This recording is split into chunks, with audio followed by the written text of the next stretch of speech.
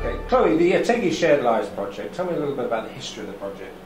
Um, Shared Lives has been a form of social care that's been around sort of since the 1970s, um, but we've just recently been commissioned um, by Thurrock Council to deliver the service in Thurrock. So we um, the contract began in February, and we're just going out there at the moment and telling people in Thurrock what Shared Lives is. So, in a nutshell, um, we look for Shared Lives carers and then we um, assess those carers, we train them and we support them to have someone living um, in their own home, a vulnerable adult living in their home with them. So um, it's a very inclusive um, form of social care uh, because the recognition is that residential care or domiciliary care is not for everyone. So as a shared lives carer, you have to have a spare room and I want to support someone and from there um, you welcome someone um, with extra need into your home and support them. It's a big undertaking, isn't it? So how do you yeah. get the per- so if somebody initially signals an interest, Mhm. what is the the journey from there to actually them sharing that life? Well, I think what we what we want to to say to people is that Ategi have been doing this for a very long time and are quite experienced in, in delivering shared lives.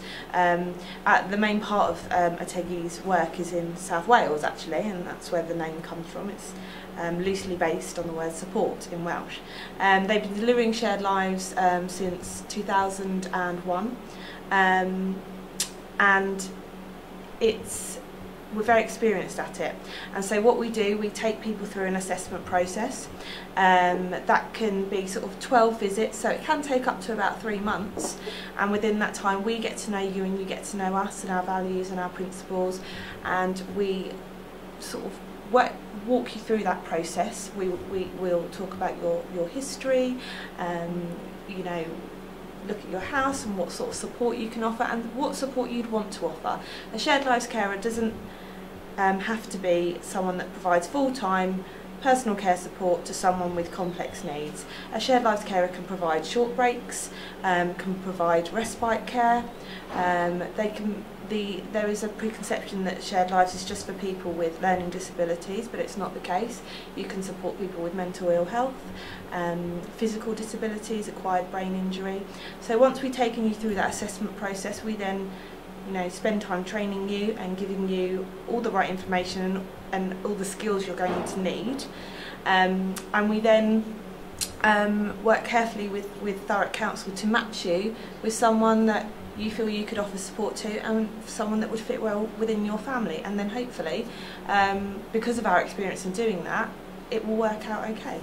Has this you mentioned you're based down in Wales? Uh, has it has it worked in Wales? We've got about I think nearly it's around about 200 long-term placements in, in South Wales um, and the same people that started uh, the organisation in South Wales is still running it today.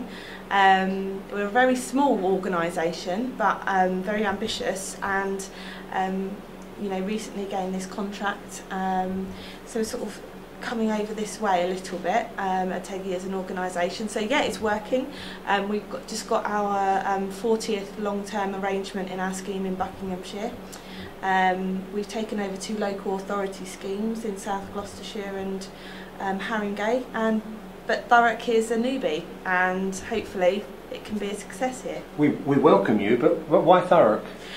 Um, I think when, when Thurrock Council were looking to, to deliver the service, they, they talked, obviously they put the contract out to tender and they, and they had to make a decision whether to deliver it in-house or whether to um, tender it out to um, a provider of the service. So we went through that process um, because, you know, we do shared lives, we're passionate about it.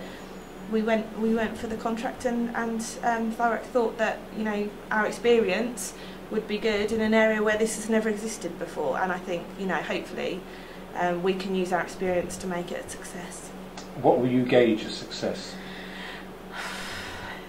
You know, I'm really passionate as, as a scheme manager that, that this is a really good option for people. People just want to live as part of an ordinary family setting and so I think if we can get some placements, uh, sorry, arrangements going um, that you know, we can really see people, you know, improving and getting the outcomes that they might not have got in, in other settings, you know, residential care homes, then it's a success um, because that's what it's all about. It's, it's about people flourishing, but within the community and, and being able to live that sort of life. So I think that's a success of any, um, that's what anyone working in sort of social care, you know, wants ultimately at the end of the day. Um, we want to get, you know, we have certain targets to meet. We, we want to get um, sort of roughly around 15 long-term arrangements um, each year.